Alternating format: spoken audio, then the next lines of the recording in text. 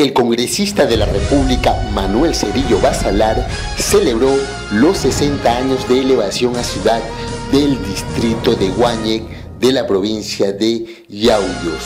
La ceremonia se inició entonando las sagradas notas del himno nacional y con la presentación de la profesora Nelly Azullo, quien inauguró el evento e hizo un prólogo sobre el distrito de Guáñez y el proceso que se dio para que se promulgue la ley 12082 que eleva a Guáñez a la categoría de ciudad.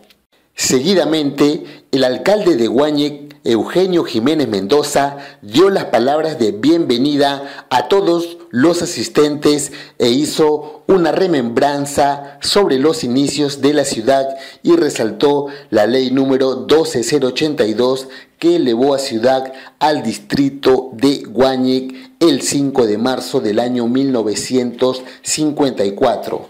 Además, agradeció al congresista Manuel Cerillo Basalar por el desprendimiento que tuvo para apoyar en el Congreso de la República con la organización del evento.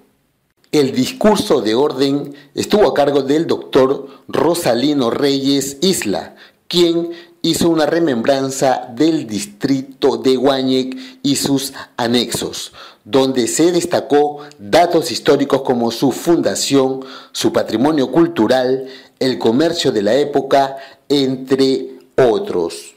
Por su lado, el congresista Manuel Cerillo Basalar felicitó al alcalde de Guáñez y a todas las personas que hicieron posible el evento significativo donde los pobladores de Guáñez cumplen 60 años de elevación a categoría de ciudad.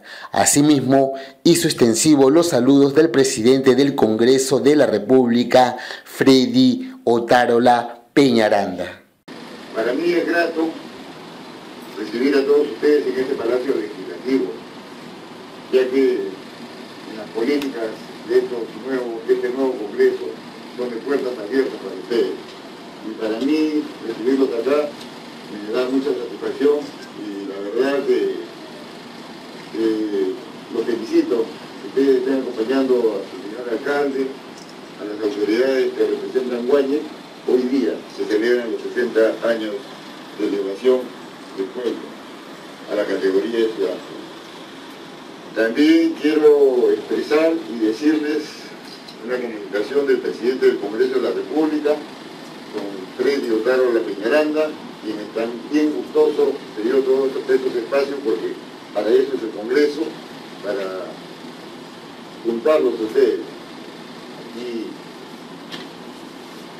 Donde de repente tienen su trabajo, pero siempre van a, su distrito Guañez. Finalmente, los pobladores de Guañez hicieron una muestra de su cultura a través de una danza que se realizó en la Plaza Simón Bolívar, donde también participó el congresista Manuel Cerillo Basalar.